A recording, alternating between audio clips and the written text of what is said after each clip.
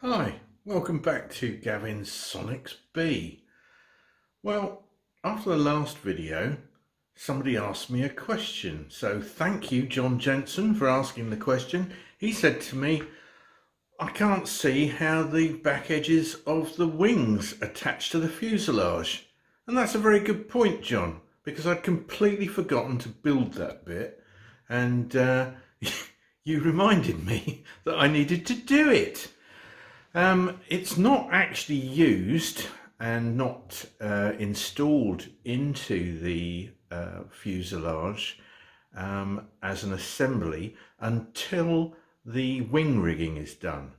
And so it won't actually be installed um, into the fuselage until I've moved the aircraft to the hangar because uh, I can't put the wings on here, haven't got enough room.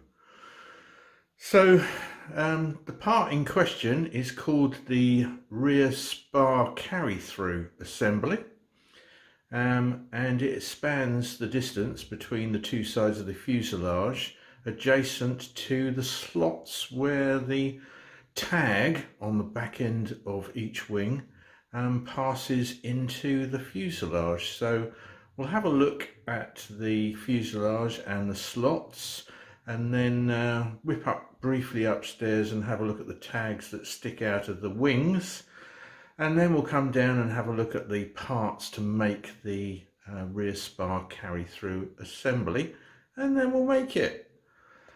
So uh, here we go. I'll just turn the camera around.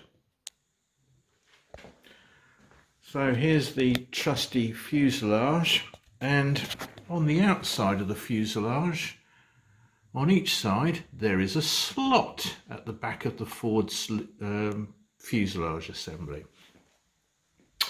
And there's one on the other side as well. And on the wings there's a tag that sticks out and that passes through the slot. Um, and we'll go and have a look at the wings a second. So here we are up on the mezzanine which is above our lounge area down there and uh, this is where the wings are in storage at the moment. There's my keyboard and uh, they've been sitting up here waiting for the moment when they get installed onto the aircraft. Now this is the forward edge of the wing. We're currently looking at the bottom of the wing and at the trailing edge is the tag that sticks out and attaches to the rear spar carry through assembly. So that's what it looks like. And so we'll go back to the workshop now. So back in the workshop and here are the parts and the drawings for the rear spar carry-through assembly. And basically it comprises of a channel which runs from one side to the other side of the forward fuselage. There is a, a shear plate or a shear angle which attaches it to the front edge of the tail cone. Then we have a stiffener angle which runs across the top of the channel. Then there are these two parts which are uh, where the actual bolt goes through. Um, I don't know what you'd call those. I don't think they've got a name actually. But there we go. Um, couple of spacers that we've had to make up for it um, and these are the angle fittings which again the main bolts go through and uh, a couple of small spacers which we've had to cut out of some thin sheet. Um, these two over this end are the attach angles. And uh, once the wing rigging is complete and everything's in place and the wings are straight these two attach onto the rear spar carry through assembly and the side of the aircraft and lock it all in place. And again, the, the main bolt that uh, secures the um, tag on the back of the wing goes through this part, this part, this part, and this part, um, and this part as well, actually. So I've already um, assembled all these bits and uh, drilled out the holes that are, are, needed to be drilled, made the spaces that need to be made.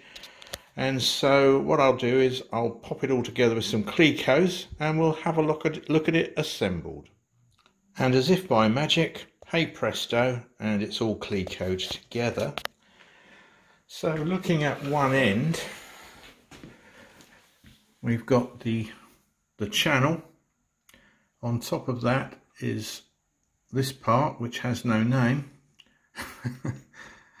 and then there's a spacer and then the angle on top. And this basically leaves a gap between the two parts which the tag in the back end of the wing slots into and then ultimately there will be a bolt or a, a pin through here. Moreover, the attach angles, which this is the left hand one, will ultimately fit on the other side like so and we'll have the hole drilled right the way through that as well and this edge will be riveted to the side panel of the Ford fuselage. The little spacers go in here to make up the distance between this part and the attach angle. That's basically the assembly. It's the same at both ends and we've got the shear plate or the shear angle running across here. Looking at it from the other side, it looks a bit like this. This being the top, that being the bottom. And then when we go to place it in the aircraft, it will be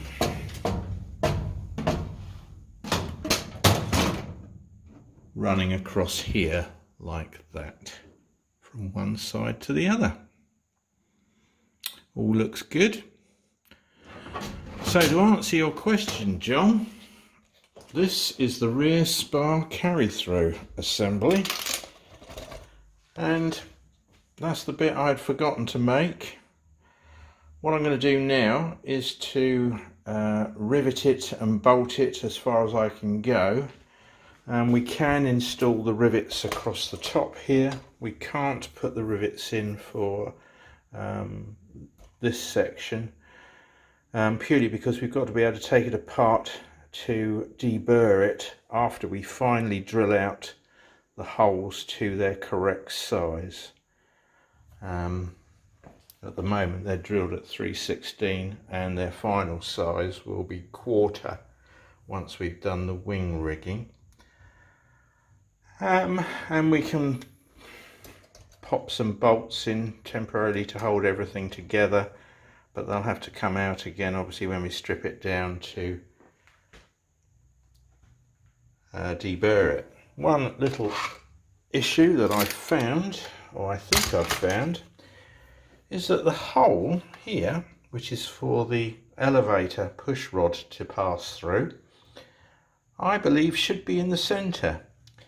The centre being where that Cleco is at the moment. The Cleco's on the other side. And if you can see, the hole is actually offset to one side. I've got to check this out, but I'm pretty sure it should be in the middle.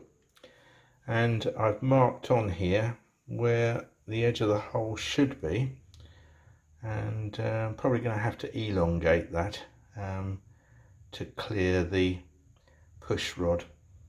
But we'll see. I'll uh, double check it and I'll let you know what happens. Anyway, going to do a bit of um, riveting and uh, put a few bolts in and then we'll have a look at it afterwards. So there it is, the rear spar carry through assembly which is riveted as far as I can go, bolted as far as I can go. Um, is held in there with some Clecos at the moment um, and um, provides the connection between the rear of both wings. And the attach angle, if we get hold of the right hand attach angle, ultimately will be in there like that. Riveted to the side panel riveted to the carry through and the bolt for or the pin to hold the uh, rear of the wing on will go right through the whole lot but we can't drill that or fit that until we do the uh, the attachment of the wings. So there we go. I hope that's um, cleared up how how the wings, the rear edge of the wings are held on, and uh, it'll be interesting to see how it works out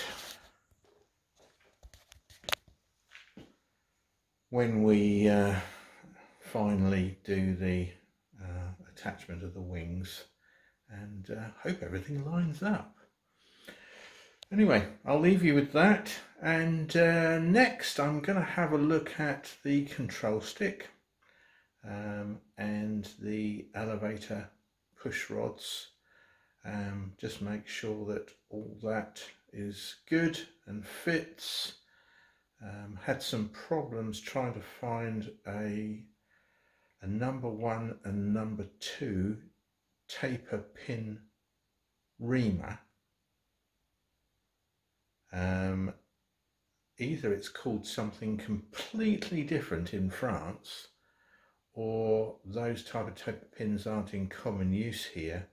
Um, I can find them on uh, many American sites, but uh, I've tried translating it into French. Um, had a look on uh, on some engineering um, websites, can't find anything similar. Um, so I've ordered something which I think will do the job. Um, it's uh, should be arriving in the next couple of days. When it gets here, we'll have a look and see whether or not it will do the job. Um, otherwise, I'm going to have to think again about how to how to fit the taper pins to the control stick assembly. Anyway, that's another day and another video. So from me at Gavin Sonex B, see you later.